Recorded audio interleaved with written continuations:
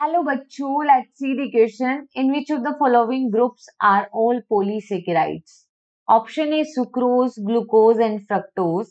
Option B maltose, lactose and fructose. Option C glycogen, sucrose and maltose. And option D glycose, glycogen, cellulose and starch.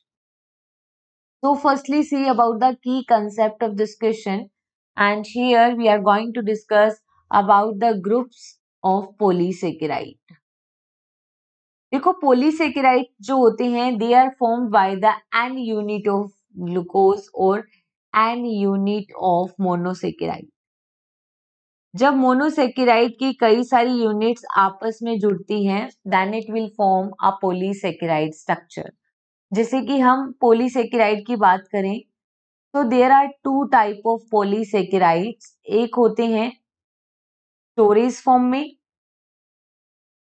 और एक होते हैं structural form में। तो दो type के पॉलीसेकेराइड है। स्टोरेज फॉर्म में देखें तो ह्यूमन के अंदर या एनिमल में ग्लूकोज का स्टोरेज ग्लाइकोजन की फॉर्म में होता है और प्लांट में स्टार्च होता है स्टोरेज के लिए। लेकिन सेलुलोज जो है that is the structural form of polysaccharide ठीक है? जैसे प्लांट की सेल वॉल सेलुलोज की बनी होती है। अगर हम बात करें मोनोसेक्राइड यूनिट्स तो मोनोसेक्राइड यूनिट्स में आती हैं, जैसे कि glucose fructose mannose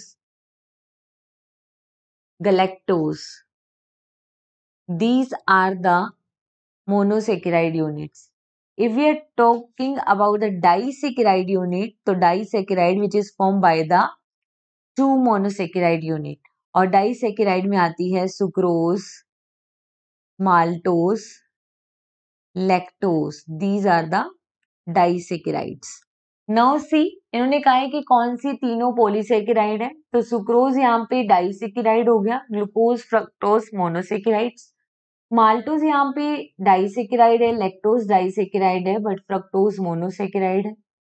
glycogen polysaccharide है बट सुक्रोज डाइसेकेराइड और माल्टोज भी disaccharide but in option D glycogen cellulose और स्टार्च ये तीनों ही पोलीसेकेराइड है तो here the finally correct answer is only option D hope you understood it well best of luck